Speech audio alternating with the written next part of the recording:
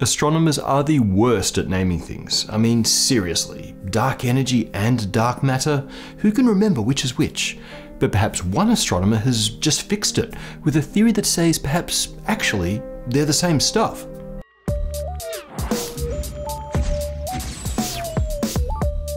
Dr. Jamie Farnes, astrophysicist at Oxford, just published a paper suggesting that both dark energy and dark matter may result from the same phenomenon. And it's pretty wild. Negative mass particles continuously popping into existence between the galaxies. This rather extravagant claim resulted in a hysterical response from the media. Our viewers' perfect blend of bright eyed curiosity and cynical skepticism led to many, many requests for us to do an episode on this new result. You got it. Today on Spacetime Journal Club, let's pick apart J.S. Farnes 2018, a unifying theory of dark energy and dark matter, negative masses and matter creation within a modified lambda CDM framework.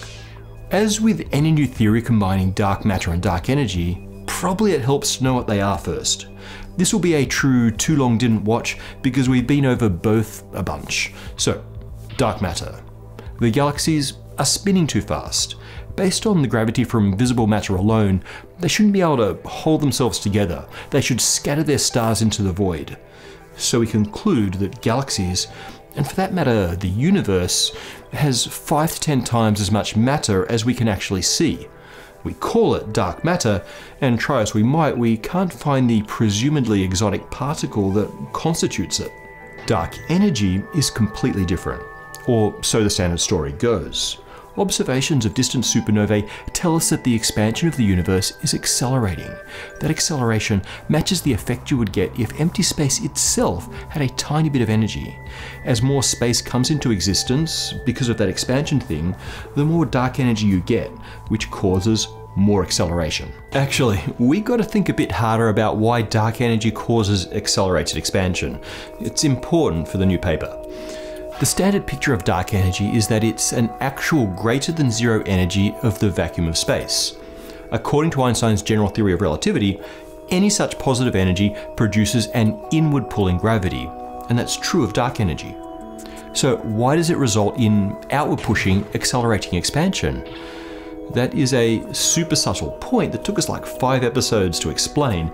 The big reveal was this episode, where we pick apart the second Friedmann equation. That's the solution to the Einstein equations that tells you the rate of acceleration of the expansion of the universe. But here's the punchline. If empty space has a constant positive energy density, then it also has a negative pressure. For obscure reasons that we delve into in those episodes, negative pressure produces an anti-gravitational effect. So dark energy has competing effects. Its positive energy density gives it a positive gravitational effect, but its negative pressure is anti-gravitational. In the case of dark energy, the latter wins, so the expansion of the universe accelerates.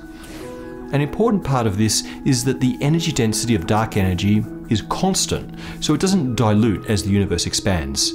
In Einstein's equations and the Friedmann equations, that constant energy density is represented by the cosmological constant, or lambda, and a positive lambda means accelerating expansion. Okay, enough with the review.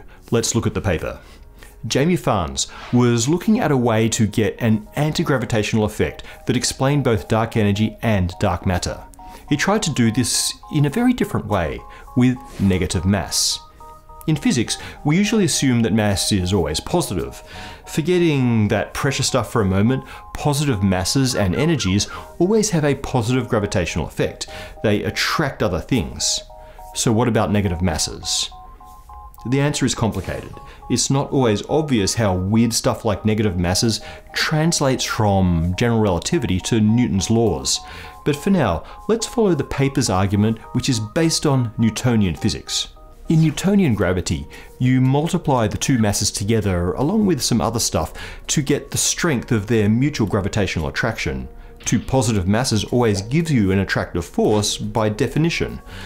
Two negative masses should cancel out each other's signs and so also give you an attractive force but with one negative and one positive mass, the final force of gravity has the opposite sign. That makes it repulsive. Dr. Farnes takes the Newtonian argument a step further. Now, mass determines the strength and direction of the gravitational field, but that's gravitational mass. It also determines the way objects respond to forces via Newton's second law. In this equation, mass is inertial mass. Now, it should be the same as gravitational mass for the equivalence principle to hold. For a positive inertial mass, direction of acceleration is the same direction as the applied force. For a negative mass, this equation suggests that acceleration is in the opposite direction to the applied force. Push a negative mass away from you, and it'll move towards you. Pull it, and it'll move away, at least according to this Newtonian interpretation. So, Farnes argues that the attractive gravitational force between two negative masses should actually drive them apart. This is supposed to give the outward push to replace dark energy. At the same time, the repulsive force between a negative and positive mass should repel the positive mass and attract the negative mass. That's a bizarre situation, but as I'll explain in a moment, it'll give us our dark matter replacement. In fact, let's start with dark matter because that's a bit more straightforward.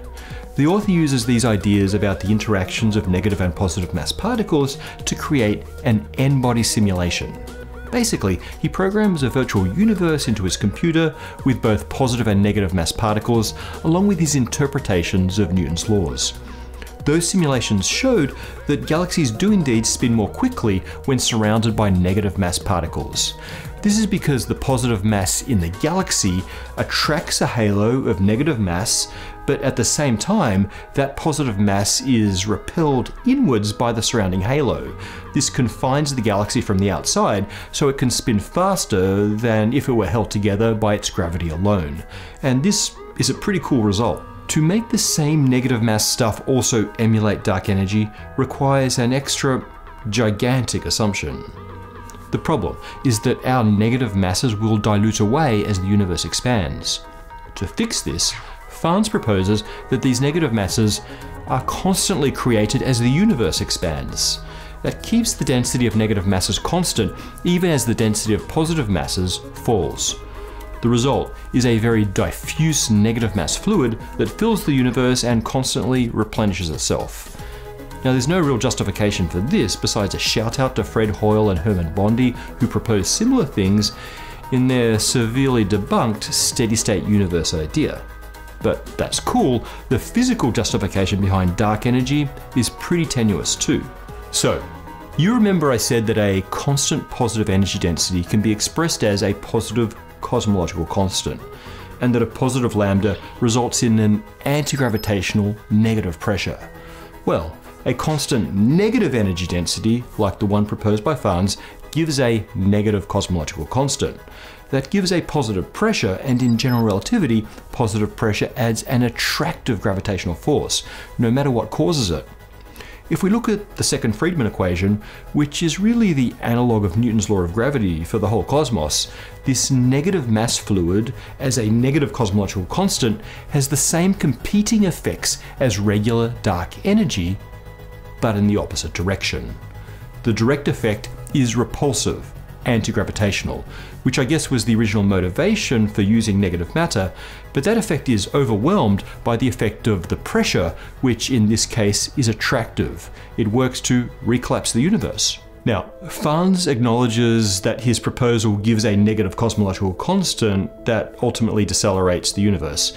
But there's some contradiction because he also suggests that it's a good dark energy replacement because it acts like a cosmological constant and yet a negative cosmological constant gives you an extremely different universe.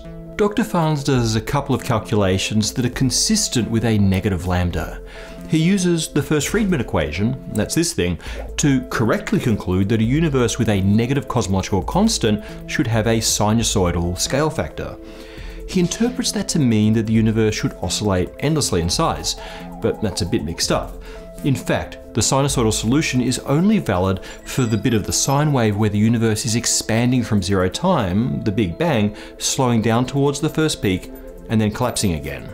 The negative cosmological constant is the source of that slowdown and for the subsequent accelerating collapse. But there's no real oscillation. The end of the universe is here, where it gets back to zero size. Plugging negative masses into general relativity allows you to break causality. You can build traversable wormholes, Alcubierre warp drives, time machines, anti-unicorns. This is a strong indication that negative mass can't exist. Okay, these are my complaints on theoretical grounds, but what about the data? Does a universe with a constant negative energy density fit the observations? Well, there are two main things to check. First, does it predict an expansion history that fits the supernova observations that originally discovered dark energy? Those supernova results suggest a universe that started expanding rapidly and then slowed down due to the gravity of matter, mostly dark matter, but then that deceleration turned around as dark energy kicked in, resulting in the current accelerating expansion. With a negative cosmological constant and this sinusoidal expansion, any slowdown happens near the turnaround point, presumably tens of billions of years in the future, and that's hard to fit to the supernova data. Farnes calculates an age for this universe of 13.8 billion years, assuming a very low negative energy density. But that really just corresponds to the very first straight part in the rise of the sine curve, which is almost a constant expansion rate.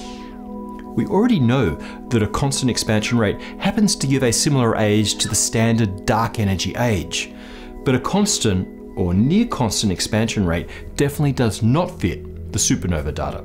The second thing to check is the cosmic microwave background. I'm not going to go into that in detail, again we've done it before. Just quickly, the density fluctuations seen in the afterglow of the Big Bang reveal a universe that is spatially flat. Dark energy, with its positive energy density when added to the energy of both regular and dark matter, are needed to explain this spatially flat universe. If you replace both dark energy and dark matter with negative energy stuff, then the universe becomes negatively curved, what we call anti-de Sitter space, which is good for string theorists, as Farnes notes, but not for observers because that's not consistent with what we see. So I guess I'm saying this paper has some really interesting ideas, but ultimately doesn't hold together. I think what really bugged me wasn't the paper, but rather the media response. It felt like there was no effort at all to check with other sources about whether this was newsworthy. Super lazy journalism. Except for Wired, they really nailed it. And what about Dr. Jamie Farnes? Well, he's a talented astrophysicist. Those galaxy rotation simulations are fascinating. I think it's courageous to look at fringe ideas like this, but maybe don't do press releases without getting triple checked by cosmologists. I'm also happy to be corrected on anything I said, and I'll address that in the comment responses next time. After all, it's easy to get confused by the compounding negatives in what is probably not a negative mass antigravitational positive pressure anti-de Sitter spacetime.